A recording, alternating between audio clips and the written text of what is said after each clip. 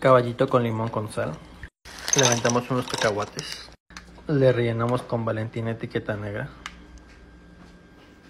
Polvo de taquis